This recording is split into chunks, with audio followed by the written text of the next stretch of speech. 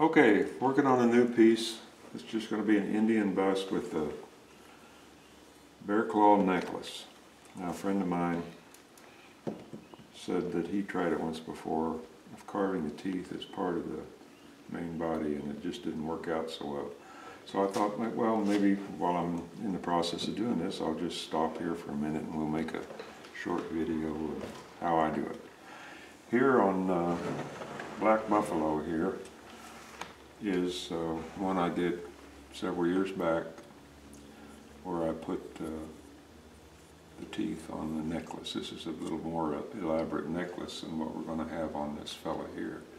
But uh, it's basically the same method. Okay? And the best thing uh, you can do before you start is do a little research and find some photographs of uh, bear claw necklace. And even better, find photographs of Native Americans wearing one so you can see exactly uh, what it's going to look like. So, I've got my, I've started carving my teeth here. This is going to take about 18 teeth around here. I cut out my blanks, little blanks here on the bandsaw of the size of each one. I've carved, I think I've got about 16 teeth here at the moment. Uh, the body is fairly well roughed out here.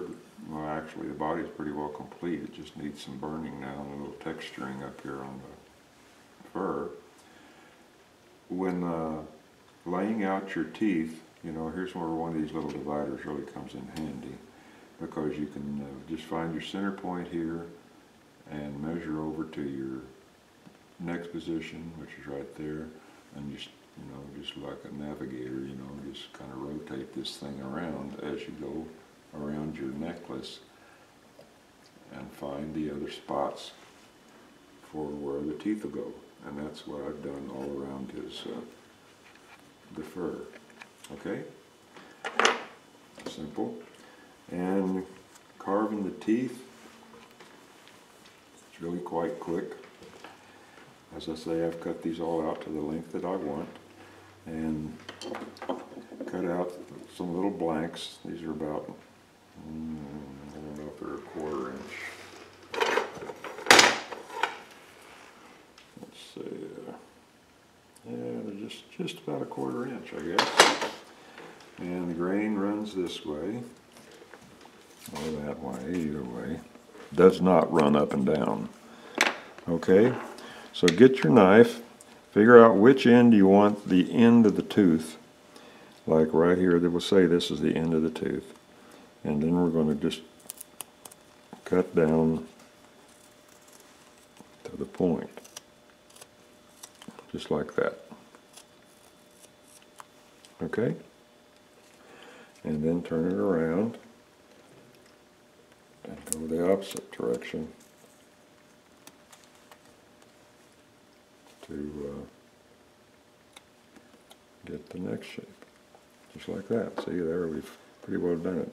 Now it's just a matter of rounding off the edges. And if you remember which way the grain's going, this becomes really simple.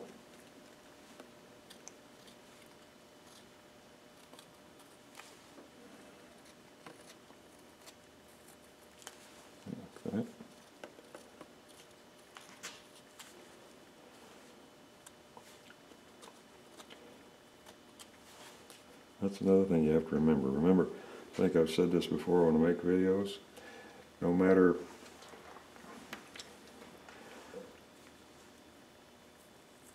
see how your knife follows the wood there?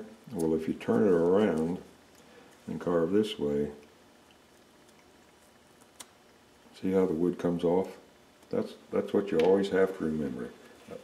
If people would learn the grain and how it affects your whittling, you know that your carving is going to be 99.9% easier. All right, we've got this side, we'll round it off there, so now we'll round off the back.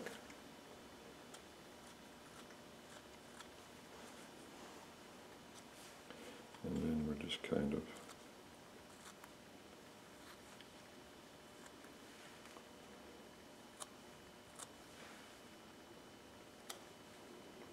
do that. Just look at it, make sure we've got all the corners cut off.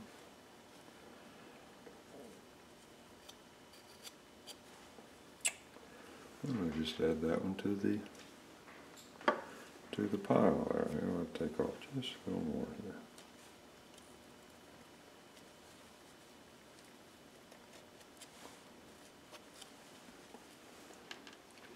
How many does that give me?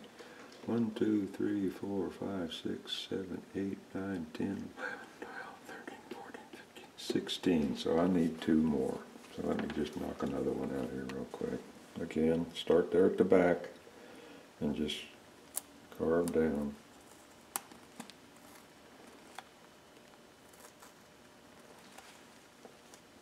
And turn it around.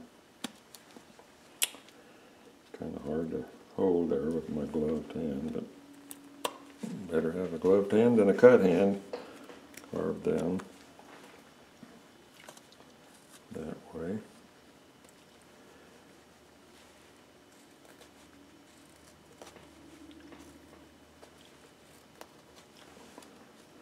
Till you get that shape. Like that there, and then a matter of rounding off the corners.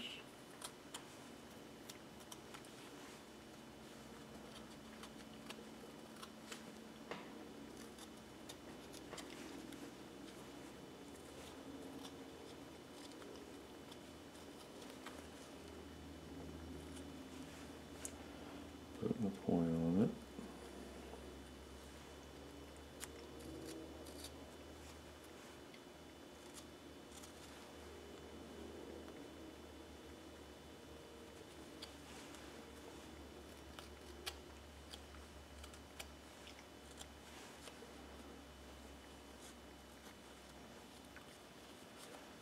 Do in the back.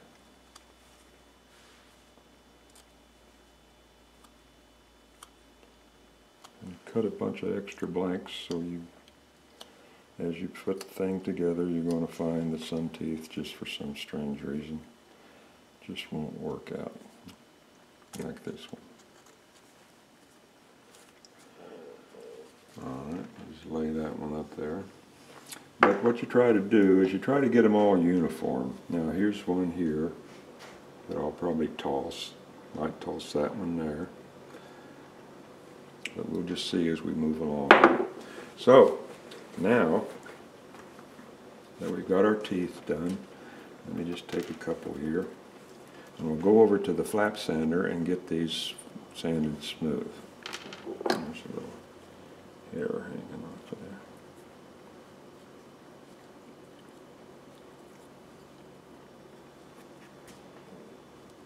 Probably all looking at this mess on my sleeve here.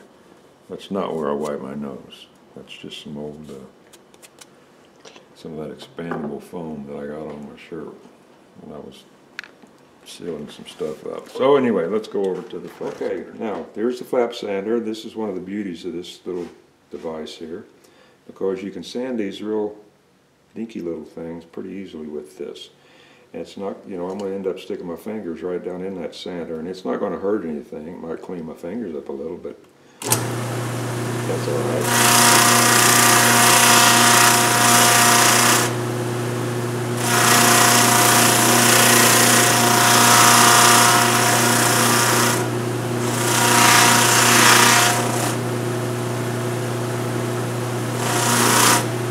See, that gets it nice and smooth.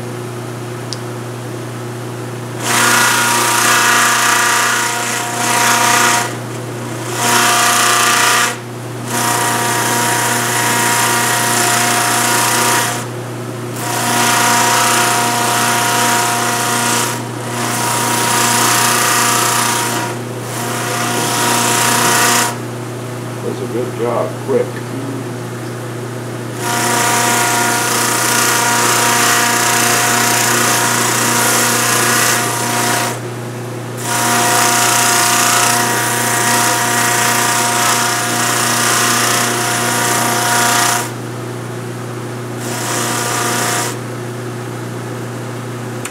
And another thing with this is ideally you want these little fingers to come out here and fuzz out like that. Because if you uh, run out some more paper and cut it straight across, you know, about a quarter or half an inch away from the end of your brushes here, and then start, you're going to have some really pretty strong uh, abrasive on these fingers, and it's going to take that down real quick, and you don't have any control over it. So uh, I always, when I put a new new uh, new one in there, I always take that old scrap piece of wood and just hold it to that thing to bust all that stuff up to where I get the texture uh, of the thing that I want. Go. And do one more.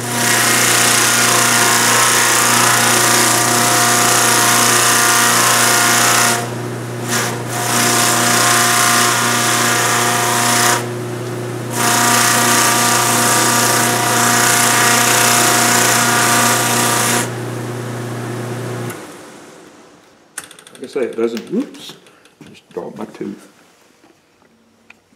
Doesn't take long at all to do it like this, okay? So now we're gonna go back over to the uh, work table. Okay, Judy says you can't really see the difference. Well, you can too. Here's the four that I just did, and here's two that haven't been done yet. So you still got those rough edges on them. These you can still see the chip.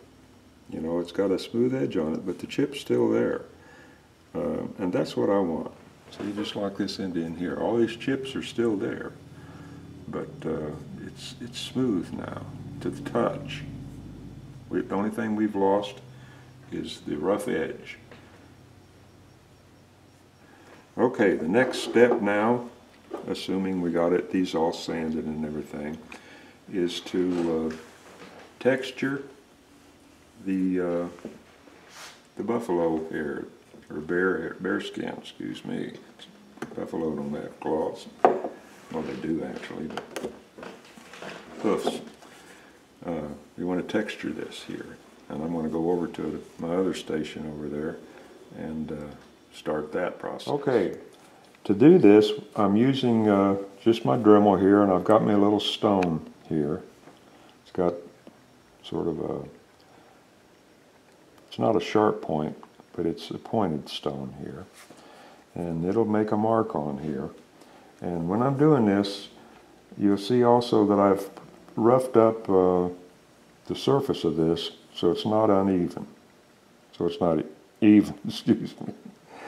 And uh, this will help when you, you know, makes it look more realistic like that. And also when I'm doing this, I want to remember to do it in the direction that the fur would lay, which it's going to be like this. Pretty simple in this thing here. I'm not going to be able to do things completely here, but I'll do about no, 90% of it.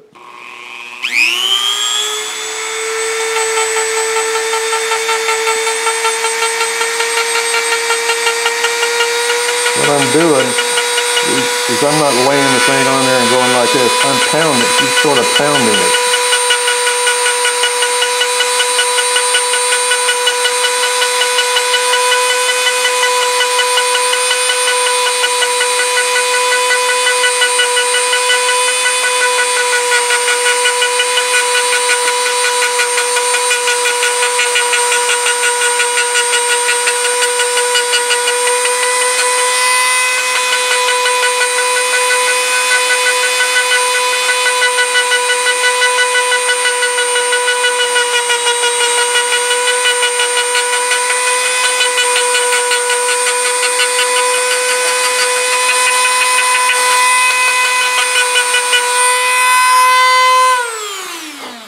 I'm going to go ahead and do this all the way around here and then we'll go on to the next step, okay? Okay, I've gone all the way around this. And uh, you know where you go over, don't worry about that. You can easily carve those things off.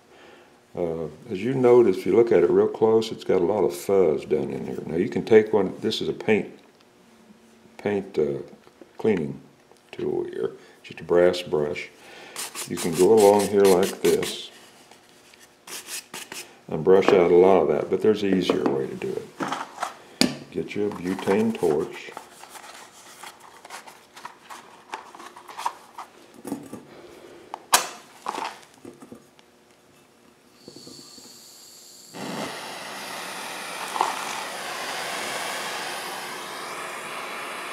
See those little sparks?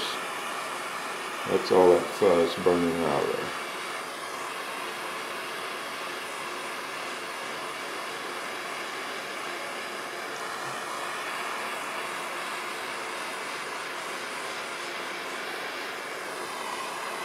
Careful not to burn your finger.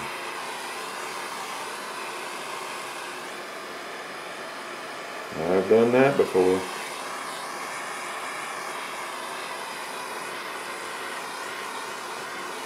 That pretty well takes care of all of it. Yeah. somewhere over here I have a finer glass brush.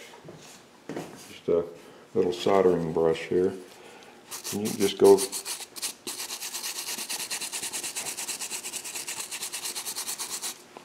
go over it.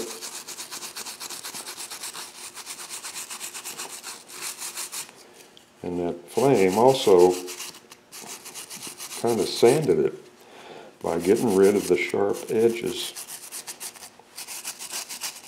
of the uh, stone wheel. Don't worry about it getting dirty.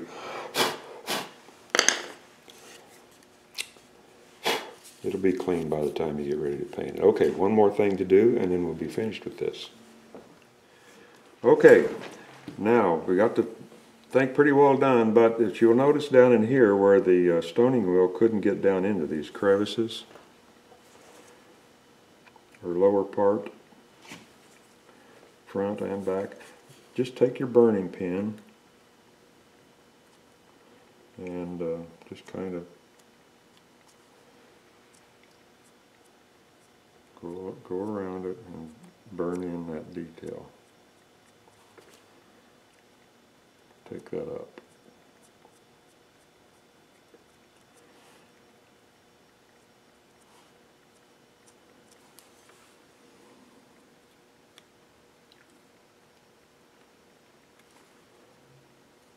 It's just like burning a feather or something like that, you know, kind of take your strokes and run them back up into the other.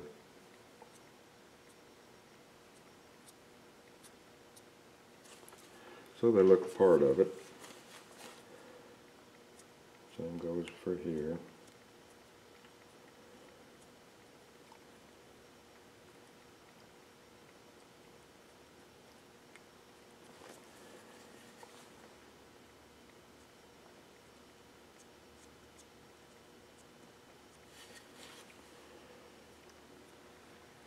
And use, you know, light strokes and then deep stroke and just something to, uh, you know, you don't want everything to be uniform. You want it to look like fur.